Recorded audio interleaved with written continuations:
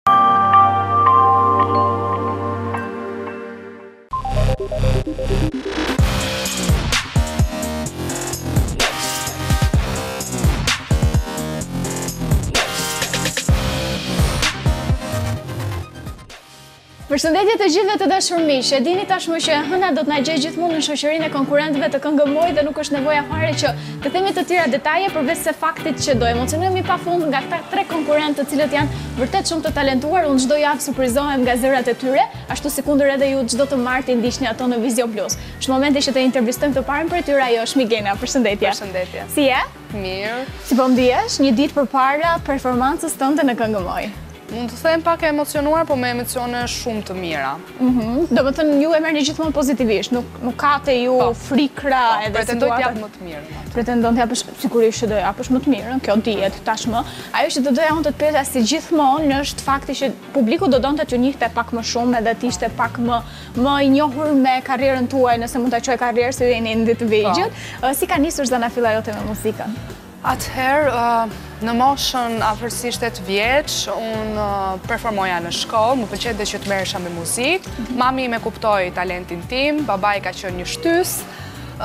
Pastaj, duke qenë se muzika është një pjesë e imja, talenti im, jam e lidhur edhe me artet e tjera, preferoj dhe preferoj që ta shfaq këtë talent në televizion, pse jo. Po pse jo, sigurisht që dhe ne të kënaqemi ne që s'kemi, për shembull s'dim, sigurisht që do presim nga të tjerët që të shikojmë se sa bukur këndoni edhe sa sa, ta, sa të talentuar që jeni.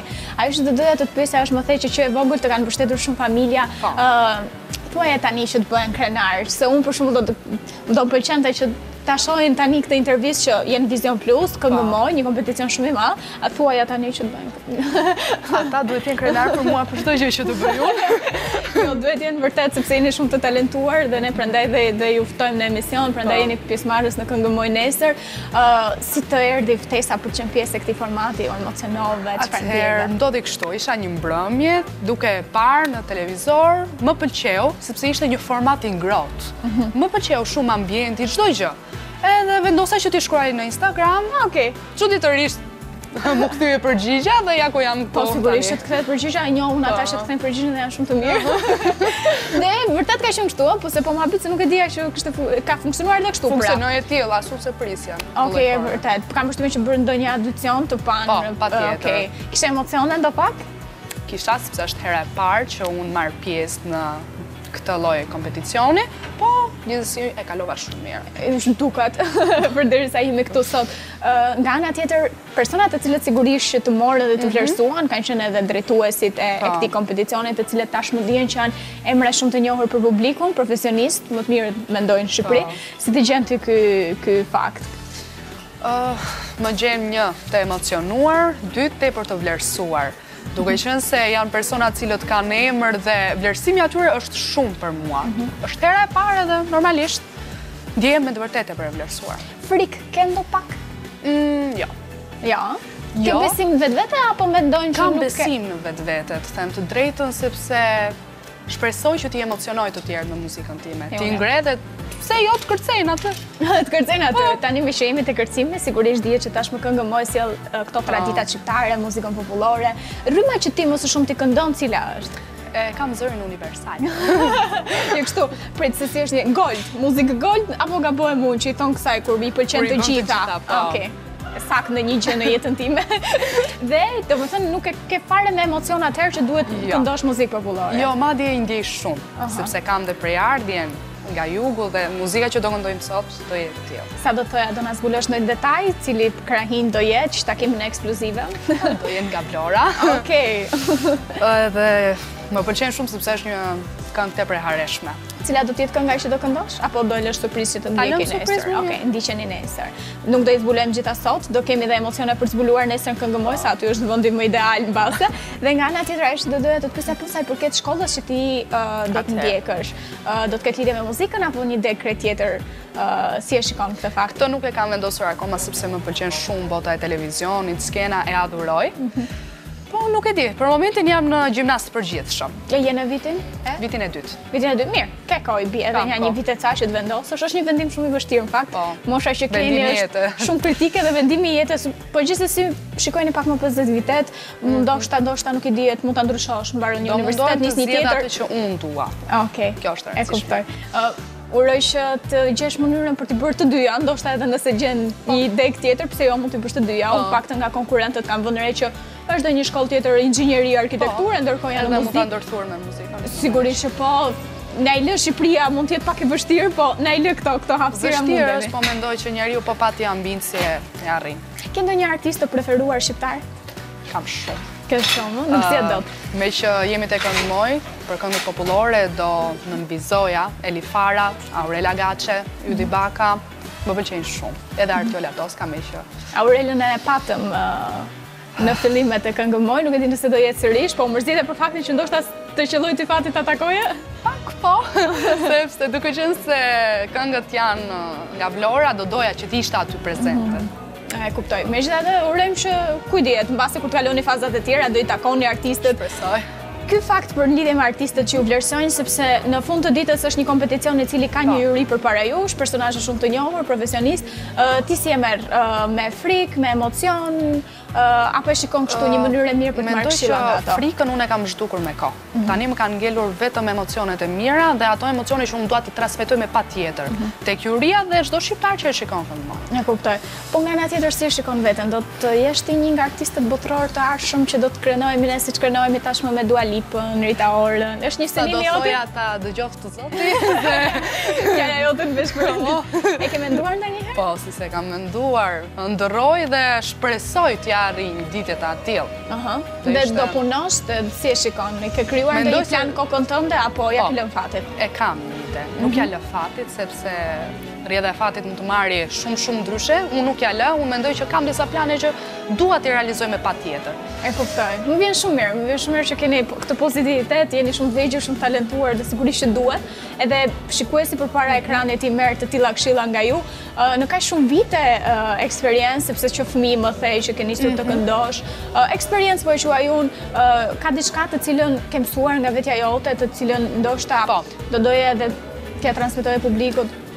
Nuk duhet të kemi asnjëherë frikë. Mhm. Frika është ajo stepja që vjen nga padija e njeriut. Mhm. Mendoj që njeriu duhet të ketë shumë vullnet dhe të ketë një pikësynim, një qëllim në jetë, çfarë do që të arrijë. Nuk mund të jetosh kurrë pa një qëllim. Është e vërtetë, dhe uroj shumë që t'i arrini të gjitha qëllimet që keni, përveçse qenke goxha shumë e talentuar, qenke dhe shumë e zgjuar, ta them unë këtë me sinqeritetin më të madh. Unë uroj që të shkëlqesh nesër atje. I kemi bërë nisur këto përgatitje të veshjeve, i po. kemi menduar, ok, deri në detaje. Mhm. Mirë, unë nuk po i them se e di unë që doni t'i lini surprizë, nuk më tregoni asgjë, po do të shohim nesër. Shumë faleminderit që ishe me ne. Shumë faleminderit juve. Ndërkohë ju e dini që tashmë vijojmë me një tjetër intervistë, me një tjetër vajzë konkurrente, sepse dukshëm sot do të jetë dita e vajzave dhe nesër nata përkatësisht në Kënge Moj, ju mos u largoni nga ekrani i Vizion Plus, sepse ne rikthehemi vetëm pas pak. Siç ju premtova, një tjetër vajzë, një tjetër intervistë shumë e bukur nga konkurrentet e Kënge Moj. Në fakt tani unë që jam me Kristianën, që ta prezantoj për publikun, Po ndihem pak si keq, je shumë e bukur. Faleminderit. Kjo nuk është e drejtë. Dhe ju? Na po po. Kjo ishte kështu sa për të bërë qejfin.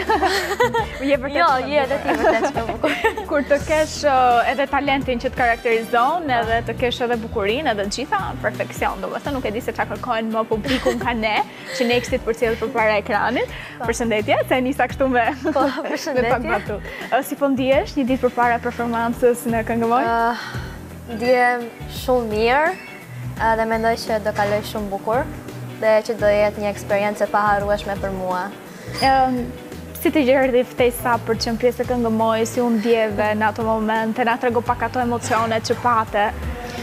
Atëherë, ftesa ishte aplikimi im në ah, festivalin Këngë Moj, po, aplikova dhe aty zgjodha dhe këngën, mhm.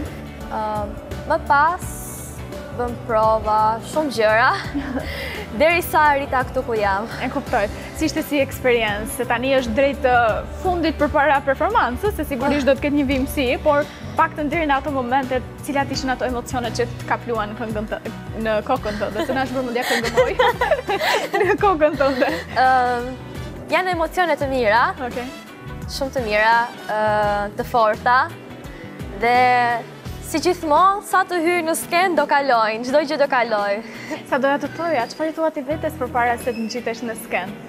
Se, unë i them vetes që um, jam një person i fortë, do t'ia dal sepse ia kam dalë gjithmonë dhe do të jetë Një eksperiencë e paharrueshme dhe dhe dhe diçka që unë s'kam për të harruar kurrë, prandaj do ta bëj më së miri këtë gjë, që ta bëj tani. Dhe do mundohesh që ta shijosh në maksimum? Po, ta shijoj, më e rëndësishme ta shijoj. Ti e ke ndjekur spektaklin Këngë Moj tashmë, po. sepse është transmetohet, po. si të duket nga jashtë, përpara se të jesh atje në skenë? Se shumë dhe s'e kemi idenë ku ta di unë, se si ndihet një këngëtar përpara se të ngjitet në skenë?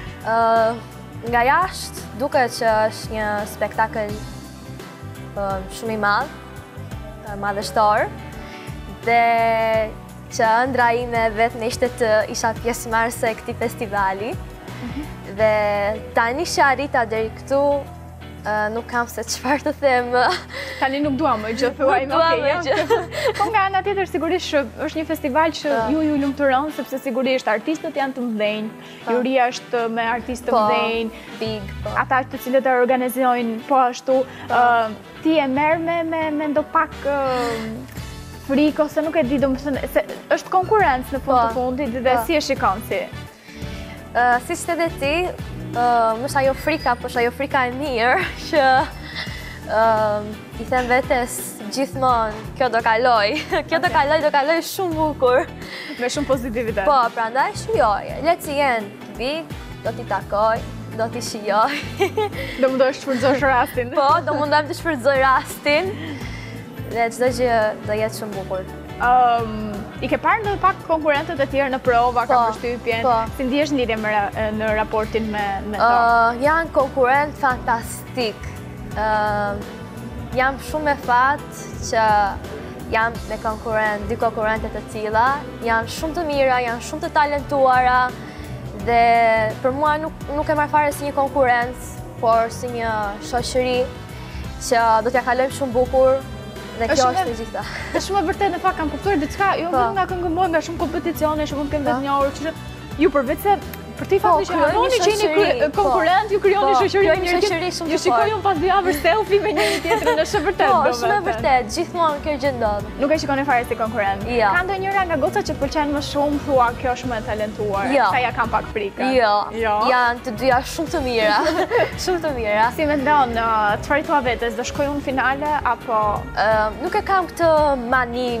që unë do shkoj në finale, por që është ajo dëshira që unë kur të dal në skenë ta shijoj, nëse fitoj, ok, nëse nuk fitoj. Kompeticioni Kënga Moj ju sjell përpara një Nuk e di nëse është e drejtë të thuash speed, po. përpara një gjëje që ndoshta nuk është shumë e zakonshme për ju, po. sepse muzika që keni kënduar më përpara mund të mos ketë qenë popullore po. nëse Çfarë këndoje më së shumti çfarë pëlqen ti? Unë më së shumti isha tek balada, sigurisht dhe tek këngët pop, mhm. por pse mos t'i provojmë dhe këto rrymat e tjera, pse jo, janë traditë e Shqipërisë, janë gjëja më e bukur që mund të kesh në një festival, të këndosh këngët popullore. Ndërkohë që e thua, pse jo, nuk të frikëson fakti që ndoshta është një tjetër rrymë, Duhet tjetër lloj, ku di unë, timbri, dyle, çfarë janë këto gjëra po, që... Po, po, por nuk më shqetëson, sepse... Okej. Ti mendon që mund ta bësh. Po, mendoj që mund ta bëj. Okej, kemi kam përshtypjen që do jetë një gjë shumë e veçantë eh, edhe në CV-në tuaj, sepse po. keni kënduar dhe muzikë të po. tillë. Pastaj fillojnë ofertat nëpër dasma, në se ku po ju. Ku dihet tani dhe ju e pranoni. Po. Është një gjë shumë ndryshe. Të pëlqen ideja që do të konkurrosh në një në një kompeticion të tillë apo do kishe dashur që të këndoje më mirë atë muzikën tënde atë? Jo, jo, faktikisht është e kundërta, sepse të provosh diçka të re është gjithmonë më mirë, mhm. dhe jo të gjithmonë me të njëjtën rrymë, me të njëjtën konkurrencë. Pse jo t'i provojmë të gjitha? Diçka ndryshe. Po, diçka ndryshe dhe mendoj që do jetë diçka akoma më e bukur. popullore dhe që kemi të bëjmë me artista big, mhm. është do jetë diçka akoma më e bukur, më madhështore, spektakulare. Si e gjen Kristiana veten përpara një jurie me artistë big, profesionistë, të talentuar shumë? Përpara jurisë big, e gjej veten thjesht si një artiste e vogël, sepse ata janë kaq të mëdhenj, kaq të talentuar, kaq, kanë pat shumë eksperienca dhe ata e dinë se si do jemi ne aty, sepse e kanë provuar dhe vetë, por nga ana tjetër unë ndihem shumë mirë, sepse ata do të kenë një gjykim të drejtë, sepse e kanë përjetuar dhe vetë këtë gjë, janë dhe shumë të mirë, dhe unë ndihem shumë mirë që do të jem para tyre. Pse nuk e ke me frikë, se thua, po ku dreqin, ajo është kaq e talentuar vetë, si më ra kjo pjesë, nuk, nuk e shikon. Jo, jo,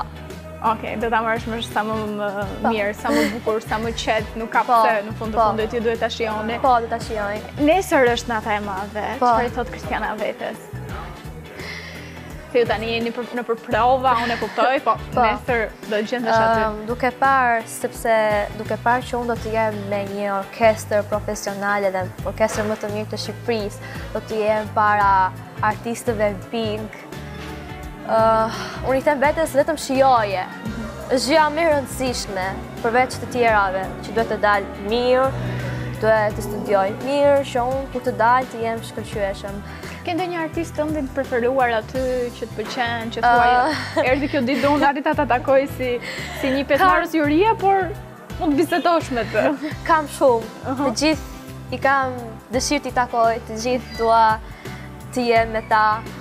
Po kështu, në përgjithësi, nuk po flasim vetëm për këta që janë në Këngë Moj, çka të pëlqen më shumë, që të të njohë dhe publiku ty pak më shumë. Pastaj ngaqë jam dhe vetë nga Vlora, dhe meqë Aurela Gaçe është patriotja oh. ime, dhe meqë është dhe një artiste e madhe, sigurisht dhe të tjerët janë të mëdhenj, po. por Unë them që Aurela duhet t'i shohë këto intervista, të po. gjejë ose do ia çoj po. unë do e gjej mënyrën, se të gjithë konkurrentët po më thonë në lidhje me të dhe sigurisht është shumë e lumtur, ju merrni shembull nga ajo, ndërkohë përkon edhe me natën e Vlorës, do këndoni një këngë të tillë. Si të duket? Nuk e di, emocionuese. Ti i ke dëgjuar ndërkohë, ndërkohë, po, si po, je rritur. Po, po, i kam dëgjuar. Mirë, më mirë që të paktën ke të të krahinës tënde, paske po. qëlluar si më me fat, në po, thonjëza. Po, si më me fat. Kam përshtypjen që familja ka qenë shumë mbështetëse në këtë projekt. Po, në çdo spektakël që kam qenë, ka qenë gjithmonë mbështetësja ime më e madhe, dhe gjithmonë ka për të qenë, dhe unë ndihem shumë me fat që kam një familje të tillë, dhe i përshëndes dhe i dua shumë. Sigurisht, ke mundësinë t'i bësh dhe ata që të ndihen krenarë tashmë për një gocë kaq të bukur dhe të talentuar.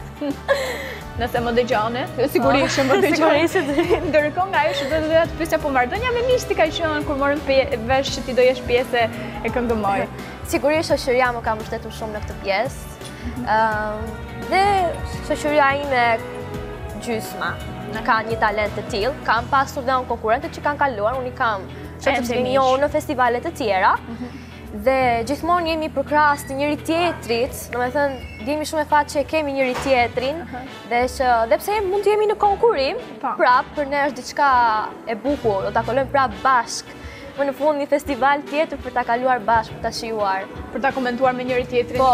i bie që ti ke mundësi të marrësh ndoshta dhe këshilla, dhe po. e bisedoni bashkë, ato po. pjesët të cilat ndoshta s'i bisedon dot me këdo, dhe nuk i dinë, për shembull nëse nis bisedon me mua vetëm të dëgjoj, Ça të di unë nga ajo fusha juaj? Ndërkohë, si e shikon veten në të ardhmen? Do të vazhdosh diçka që do të ketë lidhje me, me muzikën, artin, apo, apo një degë krejt tjetër? Um, që e vogël i kam thënë vetes, unë do ta vazhdoj, sepse kam dëgjuar shumë veta, që e kanë vazhduar deri në një pikë dhe pastaj e kanë lënë. jo. Jo. Jam e motivuar, Që do ta vazhdoj deri në fund. Deri në fund, unë jam një artiste. e kam përshtypjen që ky është një mesazh shumë i mirë që mund ta marrin dhe të gjithë ndjekësit. Po, po. T'i shkojnë deri në fund qëllimit dhe, po. dhe nga nga më të mirët, ë, se ju po. tashmë jeni këtu dhe mund ta marrin shembullin. Po. Uroj që të shkëlqesh nesër. Faleminderit. Jam sigurt se dihet, po të shihet që tani. Ndërkohë nga ana tjetër nuk po të pyes për këto detajet mes gocave se e di që doni t'i lini surprizë, e kam mësuar këtë nga ju. Shumë faleminderit që ishe me next. Faleminderit ty. Ishte shumë kënaqësi të isha në një intervistë me ty. Shumë faleminderit. Shumë mirë. faleminderit shumë. Ë në fakt ata që janë të mirë janë konkurrentët, ata e bëjnë pjesën më të bukur të inter, çdo interviste tonën dhe sigurisht që ju i ndiqni në Next çdo të hënë, po edhe nesër në në Këngëmoj. Kemi një tjetër intervistë për të bërë, vetëm pas pak ju qëndroni në Vizion Plus. Rikthehemi në Next të dashur miq dhe është momenti që ne të kemi intervistën e tretë për ditën e sotme. Fatkeqësisht e fundit, unë e di që ju do doni që ne ta zgjasnim këtë pjesë sepse emocionet e konkurrentëve të Këngëmoj janë kaq të bukura, por jemi me të tretën vajzë e cila është gjithashtu si dy të tjerat, shumë e bukur, shumë e talentuar, teksa unë i shikoj në prova gjithnjë kënaqem me to. Sara, përshëndetje. Si po ndihesh një ditë përpara kompeticionit? Dua të them edhe emocionuar, por më shumë kam atë qejfin të dal në skenë dhe kjo i heq ato emocionet. Do të them ti mezi pret i bie. Po. Ti nuk e ke kështu që o bo bo. Jo, jo jam mësuar. Jam mësuar. Okej, meqë më thua që jam mësuar, atëherë ne kështu do ta nisim dhe intervistën. Po. Me ty që na tregon pak për eksperiencat e tua. Po. Atëherë unë kam filluar, domethënë, që e vogël, Kam filluar, unë jam shkollë muzike, mhm. kam mbaruar violinë, bachelor, dhe masterin momentalisht, dhe nga kjo pandemia, nuk doja ta vazhdoja dhe online, po kam edhe mendje që ta vazhdoj jashtë, domethënë, jashtë vendit. Sigurisht që në qoftë se është kismet. Unë me muzikën i kam rrënjët shumë të thella, unë kam filluar të këndoj që kur kam qenë tre vjeç, ndoshta, Që kur kam filluar të belbëzoj ato fjalët e para, duke kënduar në përshëvi. Po, ne kemi pasur shpi private në Korçë, unë jam nga Korça, dhe atje unë gjithmonë merrja ato bistajat e rushit në tarracë, dilja dhe këndoja jepja koncert recital për edhe për njerëz që kalonin atje. Kërë të gjithë, komshinjtë vërdallë. Dhe pastaj duke parë talentin tim dhe veshin tim muzikor, prindërit vendosën të më çonin te shkolla e muzikës, Tefta Tashko Koço në Korçë. Mhm. Dhe unë atje konkurrova, Dhe fitova për violinë. Dhe që atëherë nuk jam ndarë, domethënë, vazhdova liceun në Korçë dhe më pas Akademinë e Arteve, dhe ja ku jemi sot. Ti nuk e pas ke menduar kur i bje, se gjithmonë i pyes konkurrentët a kishin menduar ndonjëherë që të vazhdojnë një tjetër degë, po e kotë të të pyes. Po, po, unë e kam pasur që e vogël të, të, me, të mirëmenduar. Ok, ka lindur kështu që talent kur më thua tre vjeç, për shembull. Po, po, gjithmonë dhe kam kënduar, kam qenë dhe një kompeticion tjetër, ku kam qenë më e vogël akoma, Dhe pastaj në qytetin e Korçës e kam zhvilluar më shumë, sepse atje kam jetuar. E kuptoj. Tani vetëm që kur fillova shkollën këtu, u zhvendosëm me familje në Tiranë dhe kemi 4-5 vjet që jetojmë këtu. Mhm. Por që aktiviteti im është shtrirë më shumë në Korçë. E kuptoj. Dhe këtu kam marrë pjesë në disa vende, po mund të them që kjo është eksperienca më e bukur që do marrë pjesë. Si po shkon? Si po shkon karriera muzikore këtu në në Tiranë? Ndryshe me atje, të duket më e lehtë, më e vështirë, si vjen për ty ky fakt? Të bësh art në Shqipëri është pak e vështirë.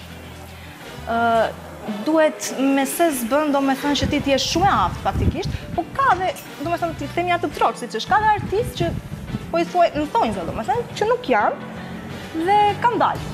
Kanë dalë nga shumë faktorë, që unë tashi nuk dua të... Janë të kuptueshme, kam përshtypjen, janë të kuptueshme. Po, Dhe sa vjen edhe po shkon drejt komercit, mendoj unë. Megjithatë populli prapë është selektiv dhe dihet që do me thënë, sot bëhet kënga, nesër harrohet. Do me thënë, nuk, nuk mbahet, populli është selektiv. Kështu që unë mendoj që muzika e vërtetë gjithmonë triumfon, edhe këngëtarët e mirë gjithmonë triumfojnë. Po si ndihesh? Ti je kaq e talentuar, sa je edhe më e pjekur, kurse ndoshta konkurrentët e tjerë kanë qenë më të vegjël dhe mund të të pyes si e shikon këtë fakt Por me të vërtetë është shumë shumë e saktë që thua që tashmë komercialja po po ecën, ë uh, ti ndërkohë mbaron për violin dhe thua si është e mundur, ë uh, si e shikon ti zgjidhjen, le ta them kështu në thonjëza të këtij problemi sot në Shqipëri. Unë mendoj që duhet duhet që artistët, domethënë të ketë gjithmonë, siç po bëjmë ne këtë konkurs këtu, sepse unë mendoj edhe këtë që ky konkurs nuk ka, domethënë, të gjithë ne që po marrim pjesë, domethënë, Janë të gjithë të talentuar, sepse ti nuk mund të vish nga rruga, merr mikrofonin dhe shko këndo. Janë të gjithë, domethënë si të selektohen këtu brenda, prapë në treshe dhe më pas në finale ashtu selektohen dhe pas se të futen. Mhm. Kështu që të gjithë janë të talentuar dhe janë duhet të jenë aty ku janë. Dhe kështu mendoj që edhe me këngëtarët e tjerë,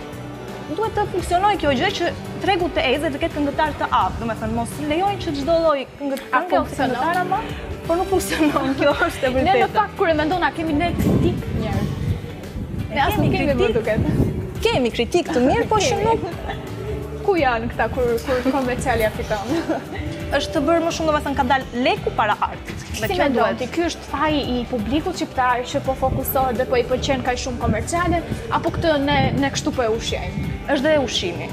Duke lënë kaq shumë këngëtarë po i quaj të paaftë që janë. Dhe janë shumë, se ne kemi këngëtarë shumë të mirë, po është dhe një pjesë tjetër që kur i dëgjon dhe klipet që i shikon, të them të drejtën, kur je në familje nuk mund ta shikosh një klip të atillë, se Me mamin, me babin, kështu që duhet edukuar, populli duhet edukuar. Mendoj unë. Duhet të shkojmë drejt muzikës së vërtetë dhe asaj cilësore. Ne në Këngë Moj e bëjmë. Ne në po, Këngë Moj. Dhe kjo ka qenë gjëja që unë kam vlerësuar shumë që është muzikë shqip dhe muzikë e domethënë popullore, duhet ta cilësoj që popullorja është tabani i muzikës tonë dhe ne jemi duhet të jemi shumë krenarë për muzikën tonë popullore sepse është më e bukura. Ndërkohë rryma që ti këndon është Unë i këndoj të gjitha, kam kënduar dhe popullore, dhe muzikë qytetare, serenatat, po e po se i kam nga zona ime. Do me thënë nuk qenka kështu, nuk është si një eksperiencë për herë të parë që mund të, jo, merrje me frikë. Nuk është për herë të parë, unë thashë, kam shumë, nuk e di, do me thënë me fjalë kështu është, duket si kaq pak, Po, ta përjetuar ti thua një, po, jetë e tërë. Një jetë e tërë ta përjetosh, domethënë, sa jam sot, sa vjet jam, aq kam me muzikë. Tamam, një jetë e tërë, të gjitha vitet e tua të jetës. Nga ana tjetër ajo që doja të të pyesja ndoshta është artistët e tu të preferuar shqiptar, të cilët siç më the ndoshta mund të kenë mbetur në hije për shkak të këtij problemi që edhe që e sqaruam të komerciales. Ke ndonjë të preferuar? Ë, mashkull është Alban Skënderaj, është vërtet.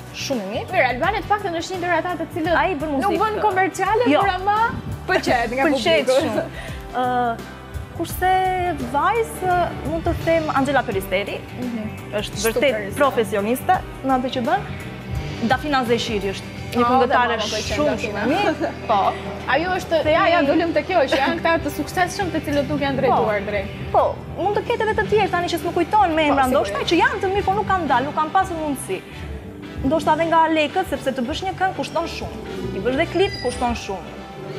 Domethënë, është dhe puna tek lekët, se nuk është se si që moti që i merrnin dhe ju, domethënë kompozitorët ju ofroheshin vetë këngëtarëve dhe ata nuk paguash, do të nuk paguani. Sot janë të gjithë. Sot është çdo gjë me lekë dhe kjo ndoshta edhe këngëtarët që janë të mirë stepen pak. Dhe e lënë atje. Ti do ta lësh aty? Jo. Si e shikon një artist i ri të gjithë këtë problematikë në kokën e tij? Çfarë do të bësh ti? Si do e zgjidhësh? Dëshira ime është shumë të vazhdoj, s'me zoti, zoti para më pas. Unë kam shumë qejf ta ta vazhdoj. Ka qenë ëndrra ime në sirtar prej sa vite, nuk e di, sa vjeç jam, aq ka.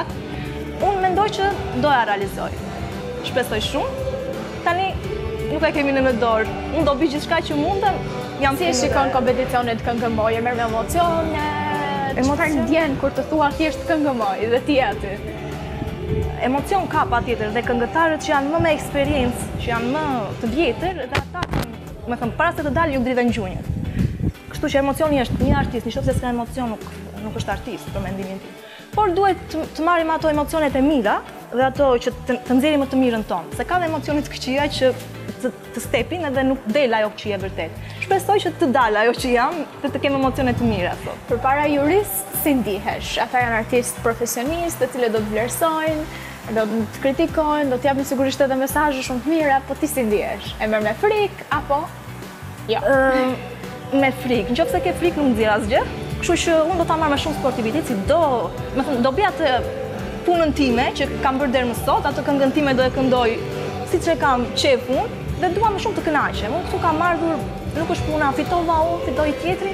Këto janë gjëra që nuk kanë shumë rëndësi. Rëndësishme është të marrësh eksperiencën, e cila të ndihmon shumë jashtë mase. Unë dua ta kem atë CV-në e eksperiencave time, sepse këto janë shumë të rëndësishme, kompeticionet dhe ka disa vite që nuk po organizohen dhe ati sistemi e shikoj shumë me vlerë këtë gjë. Kështu që unë mendoj që unë do jap më të mirën, do bëj atë që di të bëj më mirë. Pjesa tjetër pastaj në dorë të jurisë, se është profesioniste sigurisht, dhe mendoj që do japë vlerësimin e saktë. Megjithatë është ajo, është raundi i dytë, kështu që nuk duhet të demoralizohet askush, sepse gjithsesi do dalë prapë. Pra nuk e ke, se doja të të pyesja, si e ndjen vetëm sa i përket finales, do të mërziteshe nëse nuk do të kaloje, Po tani të thuash nuk do mërzitesh do gënjeja. Sigurisht do mërzitesh, po në këtë jetë kështu është, një herë do fitojë dikush, një herë do humbasë dikush, sepse në fund të fundit, çdo fitues ka qenë në fillim një humbës. Domethënë, shkallën e ngjit avash, avash. Duhet të dështosh që të shohësh suksese. Duhet të dështosh patjetër që të shikosh suksese.